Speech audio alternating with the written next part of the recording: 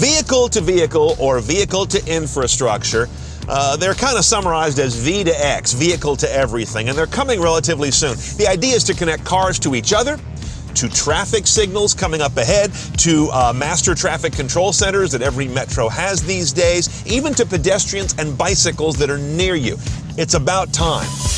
Bicycle coming from the left. Why does the smarter driver care? Well, the U.S. Department of Transportation says that if V2V was widespread, we could see an 80% reduction in car crashes, leaving out those that involve driver impairment. Put another way, that's saving 20,000 of the 37,000 annual auto deaths in this country.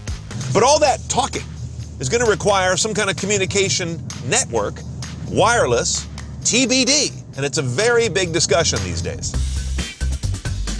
First, there's 5G. Now, you know 5G is coming to power our mobiles, but it's going to be used in a lot of things. It operates in the 28, 37, and 39 gigahertz bands. Very high frequency stuff, at least here in the US, and is not due in any real commercial deployment till at least 2020.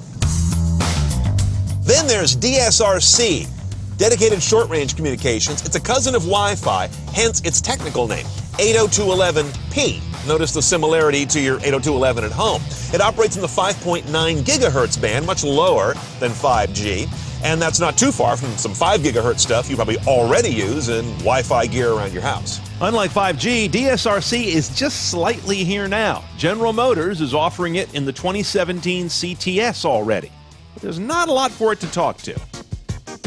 Now, note a fundamental difference here 5G is cellular, the kind that already covers wide areas and metro areas. DSRC, being Wi Fi, is a shorter range technology, though when enough cars have it, it also has a lot of reach because they have a mesh.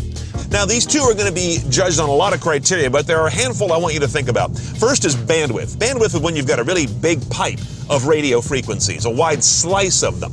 That's particularly good for moving uh, very large, rich data like video, of course, or also optical signals coming off a camera or a high resolution sensor. Now, don't confuse bandwidth with speed. It's easy to do, but it's a different thing. Speed is better measured by what's called latency. That is the amount of time it takes for a signal to be transmitted and then received by a device on the other end. That can be very important in vehicles where a car ahead says, I'm braking, and the cars behind want to know that right away. Then we get to this area of dedication. 5G obviously will not be dedicated just to car use. It's going to be used by everything wireless once it rolls out. DSRC could be used only by cars. Right now, that's how it's been envisioned. But I can tell you the wireless industry of mobiles and such, they want to share that with cars because it's really good spectrum. It works really well. There's a discussion and a battle going on right now between those industries and regulators. Then there's reliability. You want to have absolute reliability in vehicle to X communications.